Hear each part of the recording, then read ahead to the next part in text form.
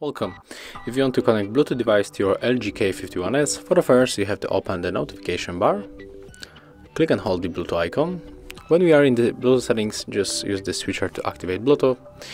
And we have to enter Bluetooth also on the second smartphone, turn it on.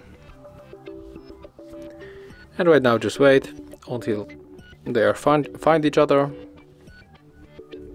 So right here in my Huawei P30 Pro I got the LG K51S. Well, let's check if it is going to find my Huawei. Yes, here it is. So tap on it. And right now accept the pair on the both devices. And right now, as you can see in the upper section, uh, we get here the pair devices and there is my Huawei P30 Pro. So that's how it looks. Thank you guys for watching. Leave thumbs ups, comments and subscribe to our channel. See ya!